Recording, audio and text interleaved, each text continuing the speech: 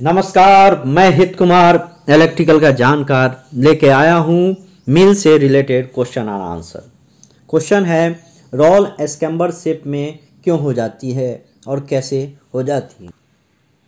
दोस्तों रोल जैसे ही रोल पे बॉटम से लोड आता है काउंटर ओवरलोड टॉप से आता है, जिसके कारण वर्क रोल के नेक पे लोड आता है। सेम बॉटम वर्क रोल के नेक पे भी लोड आता है और रोल की प्रोफ़ाइल एस्केम्बल सब्सक्राइब करें लाइक करें शेयर करें और बेल बटन दबाएँ। Thank you